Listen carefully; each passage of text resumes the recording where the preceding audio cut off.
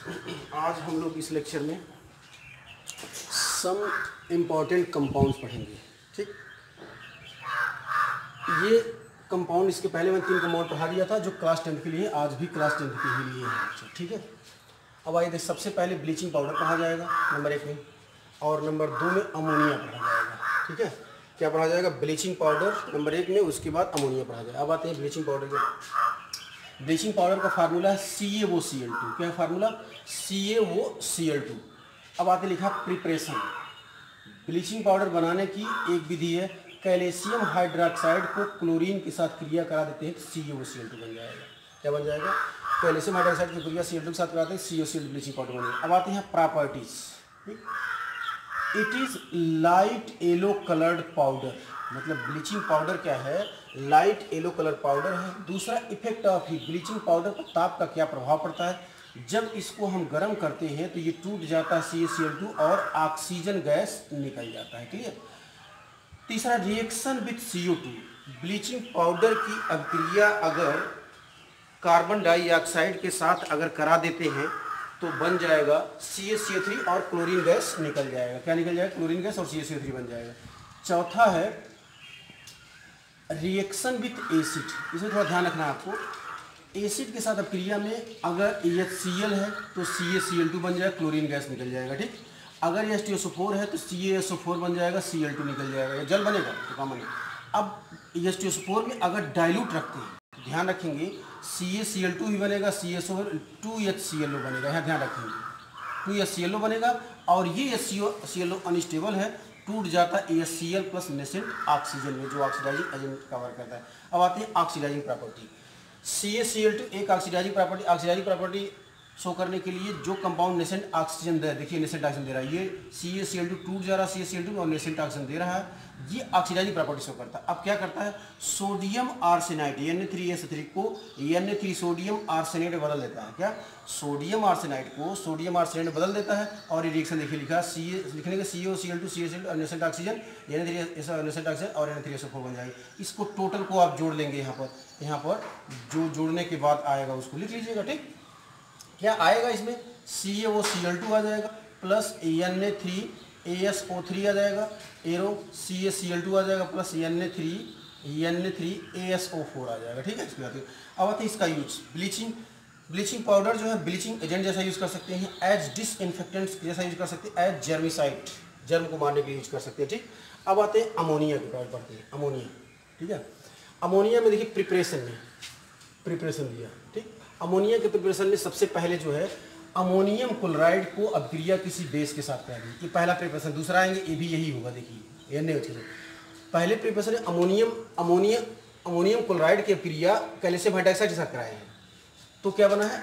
Ammonia gas बना है और C S C L two बना है और साथ में जल की नमी रहेगी। यहाँ भी यही चीज़ बना है। एन एच एन से क्रिया बेस से क्रिया कराए एन सी एल बना है अमोनिया गैस बना और एच टू बना, ठीक? यानी अमोनियम क्लोराइड की क्रिया किसी बेस के साथ करा देंगे तो अमोनिया गैस बन जाएगा साल्ट बनेगा और जल निकल जाएगा।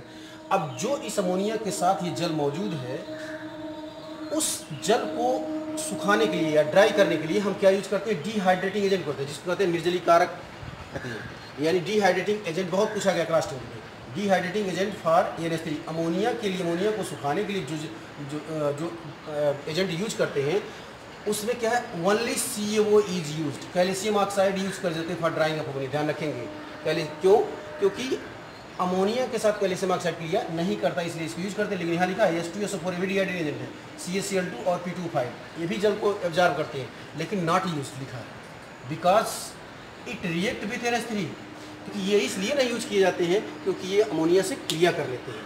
और अमोनिया को ही समाप्त कर देते हैं। जैसे एन एस थ्री अगर एच से क्रिया करेगा तो अमोनियम सल्फेट बन जाएगा। इसलिए हम को डिहाइड्रेटिंग एजेंट के रूप में नहीं यूज़ करते हैं। ये क्रिया करेगा एडिशन कंपाउंड बनाएगा। इसलिए हम सी को डिहाइड्रेटिंग एजेंट के रूप में यूज़ नहीं करते। N three P two five से क्रिया करेगा अमोनियम फास्फेट बनेगा। इसलिए इसको हम यूज़ नहीं करते अब आते हैं। ये तो हो गया आपका। By hydrolysis of metal nitride किसी भी मेटल नाइट्राइड का अगर आप हाइड्रोलिसिस करा देते हैं तो अमोनिया गैस निकलेगा। देख लीजिए, अगर मैग्नीशियम नाइट्राइड का हाइड्रोलिसिस कराते हैं तो अमोनिया गैस। अगर एलमोनियम नाइट्राइड कराते हैं तो भी अमोनिया गैस। अगर कैल्शियम नाइट्राइड कराते हैं तो भी अमोनिया गैस। मतलब मेटल नाइट्राइड का अगर हाइड्रोलिसिस कराएँगे तो अमोनिया गैस निकलेगा, याद रखेंगे। अब आते हैं चौथे number. By hydrolysis of C S C L two calcium calcium cyanamide है। इसकी अगर हाइड्रोलिसिस कराते हैं तो अमोनिया गैस यहाँ बन जाएगा। और एक यहाँ दिया है, सिक्स नंबर में हाइबर प्रोसेस। हाइबर प्रोसेस में ध्यान रखेंगे रिवर्सल प्रोसेस है नाइट्रोजन की अभिक्रिया हाइड्रोजन के साथ कराते हैं। आयरन इस पर कैटालिस्ट है मॉलिबिडनम जो है कैटालिटिक प्रमोटर है, ठीक है? इसकी उपस्थिति कराते हैं अमोनिया गैस बन जाएगा। क्या बन जाएगा? ये कैटालिस्ट यहाँ रखा जाता है। अमोनिया गैस बनेगा। अब आते हैं सिक्स नंबर में, ये सेवन नंबर में हो गया। फ्राम यूरिया यूरिया का सूत्र S two C S two इसको अगर बेस के साथ करा देते हैं तो sodium carbonate plus ammonia gas ये बन जाएगा निकल, ठीक है? अब आते हैं, जो अमोनिया की property it is colourless strong smelless gas है. It is colourless strong smelless gas है. इसको सूंघने पर आँखों में आँसू आ जाते हैं, इसीलिए इसको कहते हैं टीयर गैस क्या कहते हैं? टीयर गैस भी कहा जाता है, ठीक? अब आते हैं, अगर अमोनिया की अक्रिया ऑक्सीजन के साथ कराते हैं ऑक्सीडेशन कराते हैं तो नाइट्रोजन गैस निकल जाता है और जल बन जाता है। अगर इसको अमोनिया को जल के साथ क्रिया कराते हैं अमोनियम हाइड्रोक्साइड बन जाएगा, या सीएल के साथ क्रिया करेंगे अमोनियम क्लोराइड बन जाएगा और एस के साथ अमोनियम नाइट्रेट बन जाएगा एस के साथ कराएँगे तो अमोनियम सल्फेट बन जाएगा इसके बाद डिसोसिएशन अमोनिया को गर्म कर देंगे, वो एन टू और थ्री एस टू में टूट जाता है। रिएक्शन विद सोडियम अमोनिया की अक्रिया जो है सोडियम के साथ अगर कराते हैं तो सोडामाइड बनता है और हाइड्रोजन गैस निकल जाता है। Reaction with aluminium magnesium, aluminium, calcium, इन सबके साथ अगर अमोनिया की क्रिया कराते हैं तो बन जाए, अगर मैग्नीशियम है तो मैग्नीशियम नाइट्राइड बन जाएगा। अगर एलमोनियम है तो एलमोनियम नाइट्राइड बन जाएगा। अगर कैल्शियम है तो calcium C A three N two calcium nitride बन जाएगा। इसको याद रखेंगे। इफ़ेक्ट ऑफ़ हिट, अगर 800 डिग्री सेल्सियस पर ऑक्सीजन की उपस्थिति में अमोनिया को गर्म करते हैं तो नाइट्रिक ऑक्साइड बन जाता है। क्या होता है? येनो नाइट्रिक ऑक्साइड बन जाता है। इसके अलावा 10 नंबर में अमोनिया का जो रिएक्शन है, उसको भी ध्यान रखेंगे। 10 नंबर में। 10 नंबर में रिएक्शन विथ क्या हो जाएगा? रिएक्शन विथ सी अमोनिया की अभिक्रिया जो है, अमोनिया की अभिक्रिया सी के साथ कराते हैं। तीन दो कंडीशन है, ध्यान रखेंगे। अगर ये अमोनिया की अभिक्रिया सी के साथ कराते हैं, इसको अगर एक्सेस में रखते हैं, ठीक? क्या है? इसको एक्सेस में रखते हैं तो बन जाएगा six N H four C L बन जाएगा। क्या है six N H four C L plus यानी एन टू नाइट्रोजन गैस बनेगा अगर अमोनिया एक्सिस में है क्लोरीन से क्रिया करेगा, तब तो नाइट्रोजन नाइट्रोजन गैस निकलेगा। अगर आपका क्लोरीन एक्सेस में है, यह क्लोरीन एक्सेस में है और क्रिया करेगा अमोनिया से तो बन जाएगा nitrogen N C L three nitrogen trichloride बन जाएगा और थ्री एस सी एल निकल जाएगा। अब इसके अलावा दो कंपाउंड और बच गए हैं, जो अगले लेक्चर में आपको बता दिया जाएगा।